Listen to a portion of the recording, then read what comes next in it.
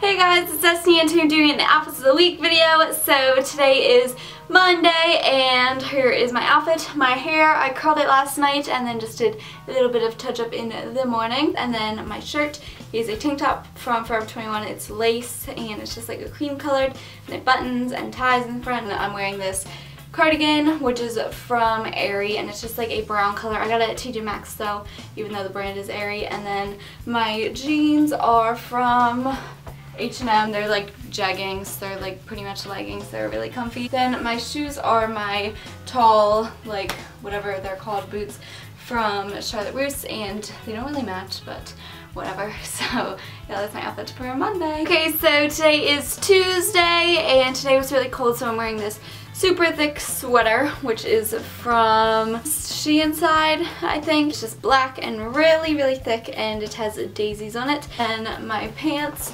are jeans from Abercrombie. I don't know if you can really see them. Shoes are my little brown booties from Amazon and my pants are a little short so it looks kind of stupid but yeah that's my outfit. So today is Wednesday and my hair is the same as it's been all week and then um, my scarf is from Charlotte Russe just kind of this like maroon color. And then I'm wearing a white just plain t-shirt from H&M and then my cardigan is actually from Goodwill. It's just like a gray knit. And then I'm wearing yoga leggings which are from Victoria's Secret. My shoes are my sand knit lattice Uggs. Okay, today is Friday and I didn't have school yesterday because it was a snow day. Um, my hair was down and normal today, but it's nighttime because I was with my friends all day. Sweater from H&M is just like black, gray knit, and then my jeans are like kind of high-waisted from American Eagle, and they're just like jeggings, and then I'm wearing my short sand Uggs.